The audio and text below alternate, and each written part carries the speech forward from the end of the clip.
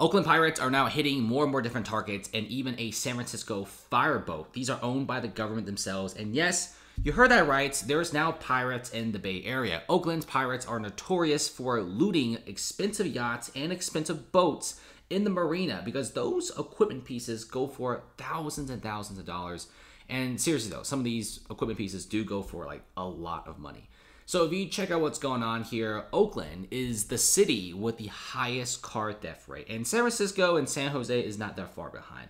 Every single day and every single hour, we're always hearing some sort of vehicle in the Bay Area being broken through. Some vehicles are being broken through because there's just some really small pieces of change or even just a suitcase. Some vehicles are being broken in just because somebody feels like breaking them in. Like you could have a random dude chuck a brick through your window for no reason. They run away, the cops don't care, and the person footing the bill is going to be you, the car owner, who has to go through insurance and a ton of different, really time consuming stuff just to get your windshield fixed. It's so bad that even rental car companies are moving out of the Bay Area because they rent out 200 cars, and after a week, 20 cars come back with broken windshields.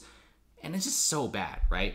And now thieves are seeing that looting cars isn't as profitable as a few years ago because now a lot of people in the Bay Area have adapted and they're pretty much leaving nothing in the car, not even a quarter in their car. So now thieves are now targeting marinas.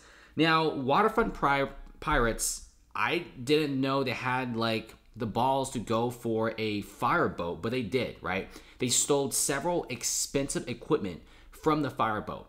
Now you may be wondering, oh, you know, why would they steal equipment? This is the dumbest thing ever. Well, here's the thing: equipment from boats go for a lot of money, right? There are several different types of pieces of different equipment, and many of these equipment pieces go for a ton of money, thousands and thousands of dollars, like the GPS stuff, you know, the Garmin GPS and stuff like that. Anything like a random chart plotter, for example, they go for a lot of money it's just cash on cash. Equipment for boats are not cheap. This is a very expensive hobby, and even tiny repairs, you know, small pieces, even scrap metal, they go for a lot of money. I mean, look at these prices, right? For example, this one, you know, a lot of these equipment pieces are very, very advanced, and yes, you know, there's even autopilot for a lot of boats and yachts out there. And like I said before, these equipment pieces go for a lot of money. And even just like the individual little parts and some of these equipment pieces go for hundreds of dollars on the market. And now we're seeing California's crime is plaguing the shores, right? We're seeing a lot of the crime being moved off land because, like I said before, there's thieves that go through rows and rows of cars looking at stuff, and the most they'll get is probably just a few hundred dollars. Like you might find a tourist with a suitcase in the car, and, and some theft will probably just steal it. You know, that's what's going on. Car theft isn't profitable, but boat theft right now is getting very profitable. And with criminals' word of mouth, we're seeing boat theft rising at an all-time high in the marinas of the Bay Area. And what's worse is there's barely anyone being caught for this. We're seeing a lot of people doing this, and it's almost like every single day we see like a new type of theft. I can't imagine what other type of thefts are in store, like cargo ship theft, you know, UPS plane theft, maybe like office theft. I have no clue. I mean, the thieves in San Francisco and the Bay Area are just getting more and more creative because the laws are so incredibly lax. It's so lax, and not to mention the whole defund the police situation. And guess what happened there? There's just not that many cops on the streets anymore. San Francisco still is down 600, 700 police officers. In fact, they probably need more cops to handle all this craziness. Oakland's 911 is so bad it's shut down for a couple days. That's crazy to see 911 shutting down and 911 even on hold. It's pretty bad. We're seeing massive shortage, especially in 911 personnel, and obviously with the whole police situation. And this isn't great, you know. The marinas are used to be like one of the safest places, right? We see a lot of rich people, a lot of wealthy individuals, or just regular people who like boats and yachting stuff like that they park their boats in the marina, they pay that monthly fee. And the marinas aren't usually like super well kept because it's kind of like the last place you'll see somebody looting your boat's equipment. But yes, it's happening, right? A lot of these who want to pull off a grand heist are going for a lot of these ships. And these ships, like I said before, carry some of the most expensive equipment you'll ever find. I mean, engine parts. We're seeing engine parts being stolen, electronics on the car. It's absolutely crazy. Things that we've never even seen before. I didn't even know these equipment pieces go for this much money. Even like the most normal stuff like a pressure gauge kit goes for like almost a hundred bucks in some websites. And they're the most basic items. So you're seeing this type of theft rising at an all-time high.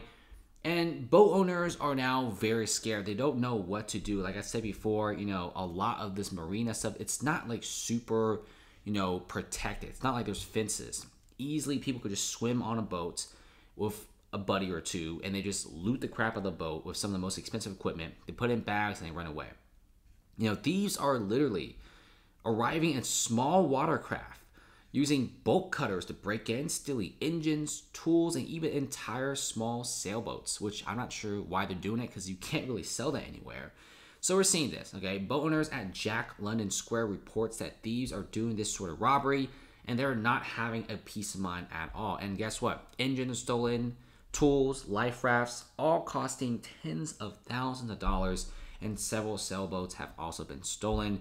You I said before, boat owners are blaming the nearby homeless encampments and all sorts of different situation. Now, this is wild, right? I mean, like I said before, Oakland isn't going to do anything, right? San Francisco isn't going to do anything. And it sucks because the marinas and the harbors of the Bay Area are absolutely beautiful. And I see why people enjoy boating and also yachting in a lot of these waters. It's a nice place, right? You're protected from the Pacific Ocean, right? It's pretty calm. The waters are very nice. You could sail around. You could go to like you know Silicon Valley. You could check out you know Fremont. You could go to Oakland, San Francisco. Go to Wine Country. It's just such a great place to boat. That's why people own boats and people spend so much money on this hobby. And now people who are interested in this hobby are now super turned off by this. And like I said before, if you have a boat in San Francisco, you're in one of the marinas. At first, you're like, okay, I could put some of the most expensive stuff. I could lock it away in my boat, and it's cool. But now people are getting pretty scared. I can't imagine, you know, these boats are being stolen at a record speed, and the city just doesn't care. And like I said before, right, you just can't have nice things in the Bay Area. San Francisco just never addresses the core issues. Oakland never addresses the core issue, and it sucks because these cities are incredible. The location is fantastic. I don't care what you say. The weather fantastic. San Francisco has great culture. I've been here before the pandemic. It's fantastic. You know, great food. The original Chinatown is here. A lot of landmarks. Just a totally different vibe from the East Coast. But it's absolutely being ruined. You know, 150,000 office workers no longer coming to commute here. Luxury buildings are no longer being sold, and luxury buildings are no longer being built. And at this point, we might not even see very, very nice ships or marinas existing anymore. I mean, look at this. This sucks, man. Like, I can't believe people's yachts and boats are being looted. And like I said before, thieves, imagine thieves go to great lengths, getting little speedboats and rafts to loot people's boats. I mean, looting boats take a long time. And like I said before, there's such a big police shortage in the Bay Area that nothing is really being done, which is pretty frightening. But let's see what happens because this right here is crazy. Going against the San Francisco Fire Department ships, that's something I've never heard before.